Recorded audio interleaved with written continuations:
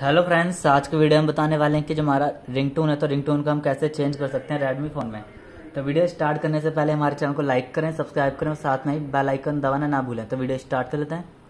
तो आप देख सकते हैं कि जो हमारे फ़ोन के आइकन्स हैं, हमारे फ़ोन में इस प्रकार से शो रहे हैं। तो आपको इसमें स्वाइप करना है।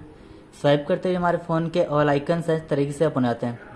तो इसमें जो हमारा ऑप्शन आ जाएगा सेटिंग्स आइकन तो आपको इस पर क्लिक कर देना है। देख सकते हैं कि जो हमारा सेटिंग्स आइकन आ गया, इस पर क्लिक कर देंगे। क्लिक करते जो हमारी फ़ोन की सेटिंग्स है ओपन जाएगी इस तरीके से। तो इसमें जो हमारा ऑप्शन आ रहा है साउंड एंड वाइब्रेशन इस पर क्लिक कर देना है। क्लिक करते जो हमारी फ़ोन की साउंड एंड वाइब्रेशन सेटिंग से ओपन हो गई है।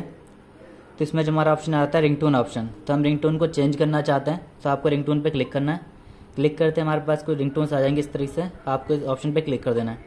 क्लिक करते हमारे पास ऑप्शन आ जाएगा रिंगटोन का तो आप उस पर क्लिक करेंगे तो हमारे पास जो फ़ोन के रिंगटोन्स है, हमारे फ़ोन में इस प्रकार से शो हो जाती हैं।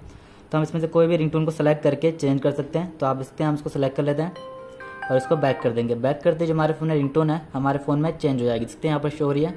तो इस पर अपनी फ़ोन की सेटिंग्स पर आकर रिंगटोन को हम चेंज कर सकते हैं रेडमी फ़ोन में। तो आपको वीडियो अच्छी लगी तो लाइक करें सब्सक्राइब करें साथ में बेल आइकन दबाना ना भूलें। और थैंक यू